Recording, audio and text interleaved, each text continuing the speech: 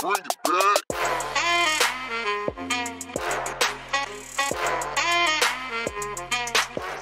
And welcome to WPNN. My name is Helene. And my name is Francie. It's a great day to be a Panther. We hope that everyone had a fantastic weekend. A big shout out to our varsity football team. They beat Centennial High with a score of 23 to 0. This weekend, some of your Panthers wrestled a natural qualifier for the Precheese's Super 32nd tournament to be held next month in North Carolina.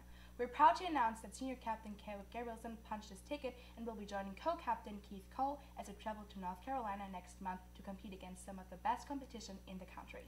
So if you see those wrestlers, please give them a pat on the back. Panthers, just a heads up, Algebra 1 and reading retakes will begin this week, so make sure you're checking your email for notification. Panthers, the 23 homecoming dance is coming up quickly. This year's dance is themed A Night in Wonderland. The dance will be held on Saturday, September 23 from 6 to 10 p.m. at Heritage. The cost is $25 and the tickets will be sold on campus starting this week on Wednesday, September 13 and will continue until the September 22 or the tickets will sold out.